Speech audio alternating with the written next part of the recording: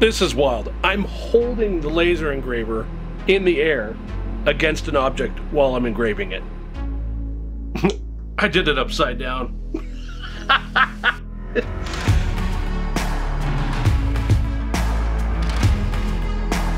I love tools. Old tools, new tools, hand tools, advanced tools.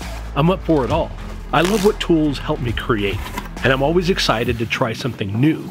Every tool I'm introduced to is an opportunity to create something I never have before.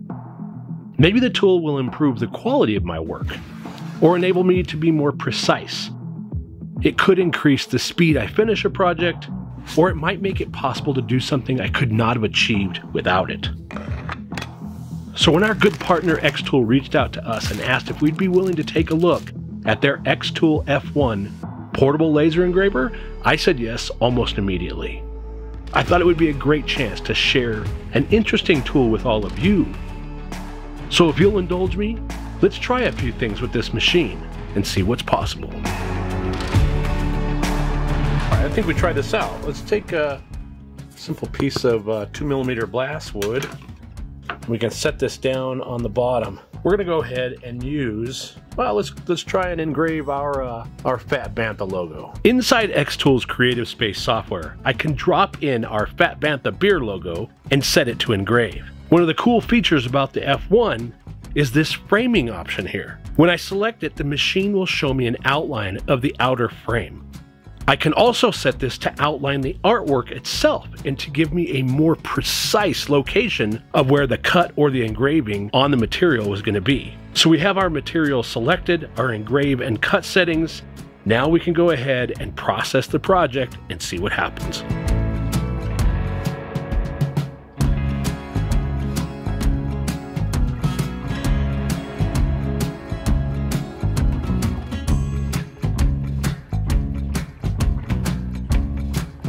Okay, we're gonna pop this out of the F1 here.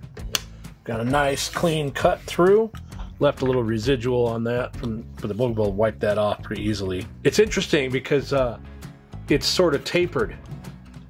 You know, unlike a traditional laser cutter that moves back and forth on a gantry, this, the laser is actually being reflected off multiple mirrors in there. So the sides of it, as the laser comes down, is actually cutting this with a slight taper to it not a big deal for something like this, but if you were using this with parts and pieces that were going to line up next to each other, it'd be something to consider. But what am I so excited about here is the engraving process. Engraving like this on a traditional laser cutter on one of my CO2s would probably take close to about five to six minutes, and this did it under two minutes, start to finish. That's pretty dang impressive. I could see using this machine for doing a lot of the engraving process. I'm really excited about the possibility of engraving on different materials. This is a slate uh, piece of coaster that they sent along in their care package kit with a bunch of other pieces. And I'm just really curious to test this out and to uh, drop some designs in here and get some uh, get some engravings on some things I've never done before. Oh, that's cool. That is pretty slick. I love the way that turned out. I never really think about doing these kinds of projects, but man, that is a lot of fun, and you could do so many different things with it. That really turned out well, and it's so fast. That was at about two and a half minutes total. Yeah, that's pretty quick work for a laser engraver. This is one of those days where I was able to take a variety of materials shared by Xtool with the engraver and try out all kinds of different engravings. We have this cool Death Star plan graphic that we drew up in Illustrator. I experimented with that on multiple metallic business cards that were in the kit. That simple design on those metallic cards really turned out well. I could see using these in some of the upcoming projects that we have. I want to test this cutting out. So I'm using this chipboard. It's basically a heavy cardboard for scrapbooking and stuff, but it works really cool for model making. And I also noticed that I kind of screwed up here. I got a little overexcited yesterday, and you can see that I've got this mark all the way around. I forgot to use this piece that they send with the machine. And this is, you use this when you're cutting so that you don't ruin the bottom. Anyway, I ruined the bottom. Now this chipboard is very inexpensive material, and I've been experimenting with it a lot. I saw it in use with model making on a channel called Gamey Builds, which if you've never checked out, you need to for sure. The thing about this material is it's easy to cut, glue, paint, and so on. It's also great for running tests on larger projects that maybe you want to use something like acrylic, but you want to test all of your cuts and your fits ahead of time. All in all, this little machine worked really well on the chipboard. I had to dial in a few settings here and there, but I can definitely see the possibilities.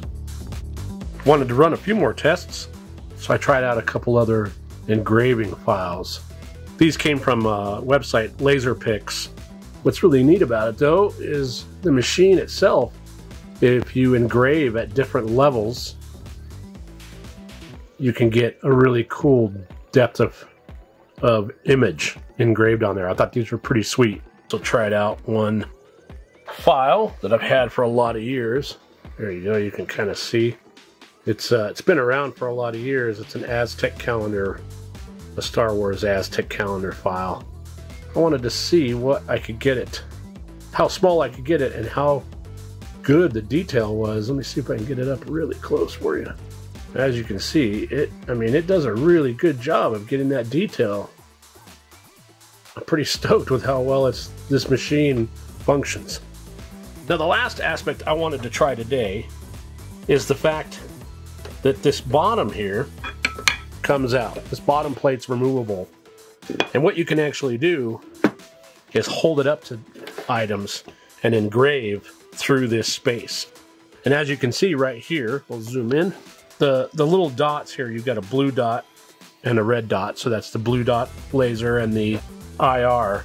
And as you raise and lower, that's how you focus it in. And so as you turn it clockwise or counterclockwise, you raise and lower the aperture to get those dots to overlap each other.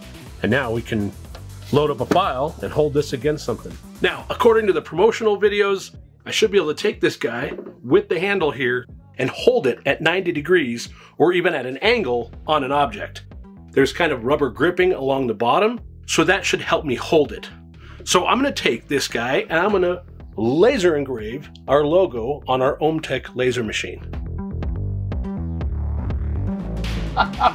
this is wild. I'm holding the laser engraver in the air against something to engrave it.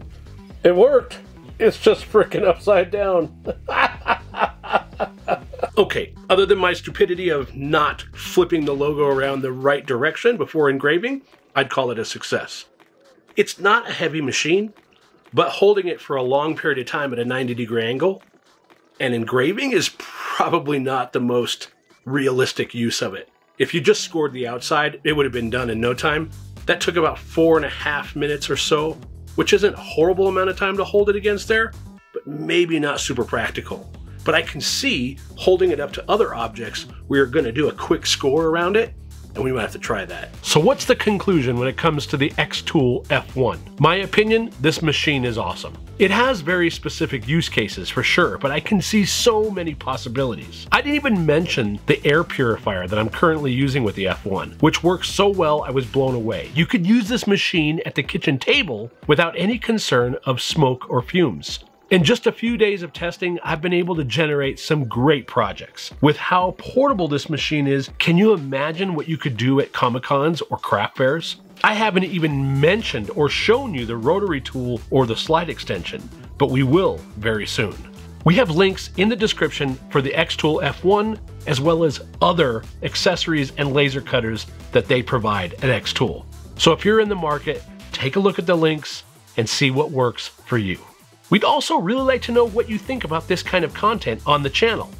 Would you like to see more interaction with different materials, tools, tips, and techniques? Because we can filter that into our regular build projects. Totally up to you, and we'd love your feedback. In the meantime, if you want to see another project build, take a look at this one right here, and we're going to see you back here really soon the next time we build something out of nothing.